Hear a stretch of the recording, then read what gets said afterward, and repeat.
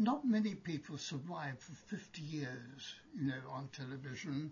Um, television eats them up and then throws them out. but he was never anything other than himself.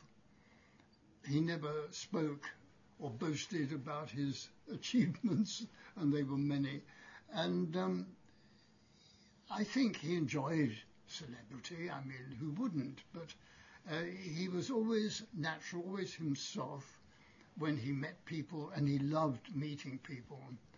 Very recently, we made a personal appearance at Sony. It was a staff party, and there were 300 members of their staff there, and I have never, ever seen such a warm reception because everyone was cheering, clapping.